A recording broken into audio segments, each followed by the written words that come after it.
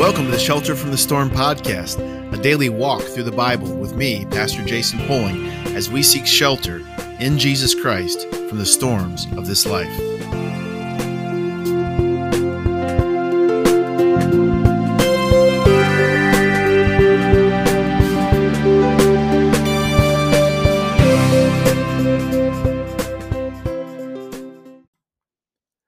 It's a great day to glorify God. This is Pastor Jason Poling coming to you from the Shelter from the Storm podcast, a daily brief dive into God's Word. And we are in the Gospel of Mark, Mark chapter 11. I'm in the New American Standard Translation. And what we're doing here now in Mark 11 is we're starting to take a turn towards the end. This is the beginning of the end in the gospel, the beginning of the end of the mission of Jesus, which he had ultimately come to do, which is to come to Jerusalem, to die on a cross for the forgiveness of the sins of those who would believe in him to rise again the third day and to ascend into heaven at the right hand of the Father, to complete his mission. And of course, up until this time, if you've been following the podcast and going through us, going through with us, Mark 1 through 10, we see Jesus revealing more of who he is, his uh, nature and identity to the people and to his disciples. And then slowly but surely teaching his disciples what it means to follow him, what it means to be about the, the kingdom of God business. In Mark 11, verse 1, though, we see this march to Jerusalem. As they approached Jerusalem at Bethphage and Bethany, near the Mount of Olives, he sent two of his disciples and said to them, Go into the village opposite you, and immediately as you enter it, you'll find, find a colt tied there, on which no one yet has ever sat. Untie it and bring it here. And if anyone says to you, Why are you doing this? You say, The Lord has need of it, and immediately he will send it back here. And they went away and found a colt tied at the door outside in the street, and they untied it. And some of the bystanders were saying to them, What are you doing untying the colt? And they spoke to them just as Jesus had told them, and they gave them permission. So, just kind of an odd uh, lead up to the story uh, where, where Jesus, of course, um, uh, sort of the Palm Sunday experience is what's going on. Um, can you imagine walking out, out of your door and your vehicle, your car, is being broken into by two guys who are trying to hotwire it and take it? Uh, of course, you would rightly ask, you know, what on earth do you think you're doing? You're stealing my car. And the fact that they just say the Lord has need of it, uh, the Lord wants this, and immediately they they give them permission to steal their car, to steal their colt. Um, obviously, it could be a supernatural intervention here that God just uh, causes these men to do that, but it also may just refer back to the fact that Jesus is enormously well known and popular amongst the people uh, the Lord, as they would, you know, they would call him. He's the the, the, the, they would have seen him maybe as a political military king come to overthrow Rome, but definitely an authoritative teacher and a miracle worker. So he just had enormous clout and publicity. And of course, this is why, as we see in verse 8, we see the people excited about uh, his approach to Jerusalem. And these people, you've probably seen pictures of, of uh, artist renditions of the Palm Sunday with all the people spreading their garments on the road and holding out leafy branches, as it says in verse 8, which they had cut from the fields. And of course, what's going on there? Interestingly, there may be a tie back in verse 8 with the garments on the road to a, um, a little lesser known king named King Jehu, who was one of the kings of the northern tribes of, of Israel. So when um, the nation split after Solomon, you had the two tribes in the south, uh, Judah, and then you had the 10 tribes to the north called Israel. And they had a, they had a ton of terribly wicked kings. Jehu was, I think, the only king who actually was somewhat decent. And God uh, appointed him to be king. And because of his uh, character, and, and it wasn't perfect, but there were some things that he did for God that were godly.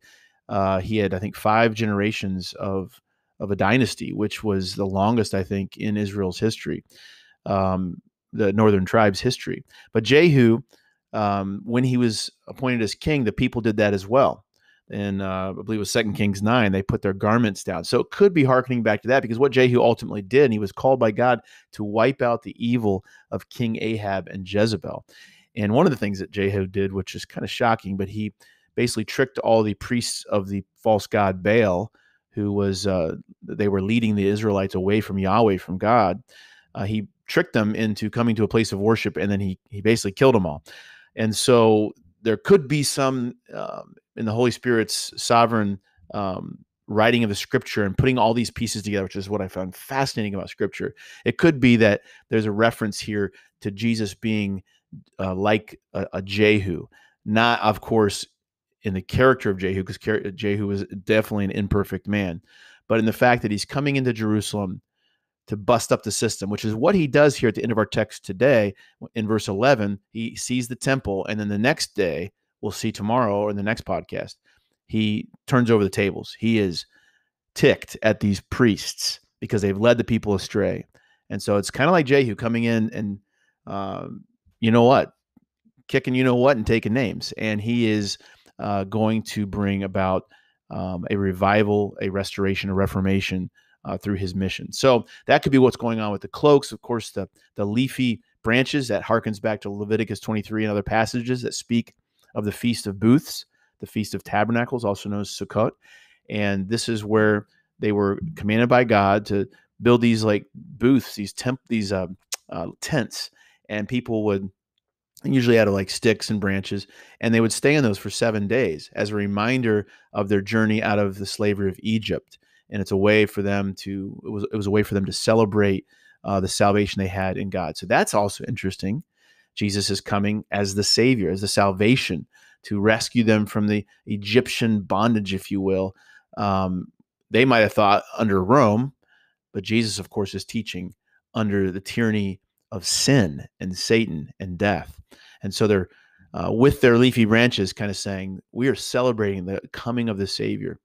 And those who went before, in verse 9, and those who followed after were crying out, Hosanna! Blessed is he who comes in the name of the Lord, which is another reference to his saving uh, power and to his lordship and kingship. Um, Hosanna originally was a term that meant save it began to be more of a term of just blessing that you would speak over. So God save the queen, right? It's that kind of Hosanna, blessed are you. And blessed is he who comes in the name of the Lord. That comes out of a psalm, Psalm 118. So again, the people or the Holy Spirit inspiring the people to see larger connections and themes. They would have seen him as this saving king uh, come into Jerusalem to uh, deliver the people.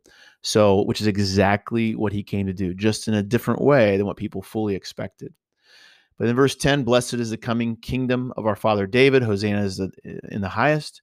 And again, Psalm 118 is a victory psalm, right? About this king uh, who's going to bring peace uh, by restoring the nation. And that's really what's happening with Jesus riding the, the, the donkey or the colt of a donkey. Uh, when a, uh, a leader would come into a city on a, on a on a horse, on a war steed, that was definitely a sign of uh, it's a time of war. But when they would come in on a colt, on a donkey, it was a sign that they are this king is bringing peace. And in fact, in Zechariah 9, you can look at that where it talks about this prophecy of the Savior to come and the Messiah would ride on the colt because of this bringing of peace. And I'm giving you a lot here from the Old Testament narrative, which is so amazing. All the um, the biblical theological themes that tie together just amazing in fact even mark 11 1 the, the fact that they're near the mount of olives olives the mentioning of the mount of olives has a lot of prophetic import as well as you see in zechariah 14 where the savior the messiah god he puts his feet uh, on two different mounts one is mount of olives and and it's it's this beautiful um, a prophecy of this savior bringing in all the peoples Gentile and Jew together who are going to be saved and they're to come into Zion, the city of David, city of God, Jerusalem. And so all this is just pregnant with power and you know prophetic import.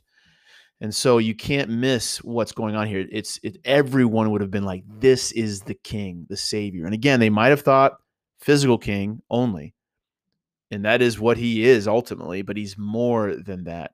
He's the eternal king to save us forever from our enemies sin, Satan, death. So, um, verse 11, he entered Jerusalem. So there he is. The king has come into the city, the holy city, and he goes into the temple, the place of God, the place where God and man meet, which now will become Jesus, of course. Jesus will become the new temple in his body, and he will be the place now where we are reconciled to the Father. But he's coming into a temple that has been desecrated by the false teaching of the priests, the misleading um, uh, doctrines that they had. And so after he looks around at the temple, he departs for Bethany with the 12 since it was already late. So he's looking around, and what we're to anticipate, and as we see in the next text, um, he is looking around in in judgment uh, upon the priests, upon the system, and with passion for his people to deliver them from all of that, uh, you know, slavery and, and uh, the slavery to falsehood. And he's going to bring them out of Egypt into the promised land through his sacrifice on the cross.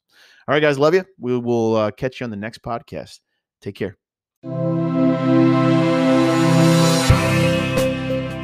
Thanks for taking a few minutes with me to dive into God's Word. I always appreciate your feedback and look forward to your questions. You can email those to me at jason at cornerstoneyc.com.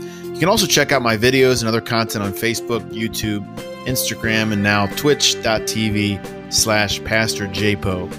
Definitely check out also the content from the church I serve, Cornerstone Church of Yuba City in California.